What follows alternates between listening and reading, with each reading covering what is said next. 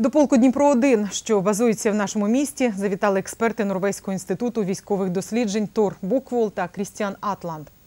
Європейці цікавилися історією волонтерства та добровольчого руху в Україні, питали про життя вимушених переселенців і взаємодію з владою.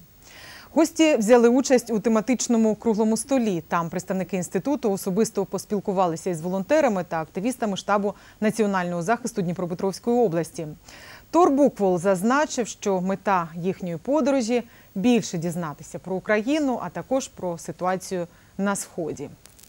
Мы особенно интересуемся э, добровольческие батальоны и как они взаимодействуют и с вооруженными силами, и с волонтерами, и так, и как, это, как это возникло как феномен, можно так сказать. И удивительно, что так, такой патриотизм, и так э, только два года прошло, и такое уже есть, это, это удивляет.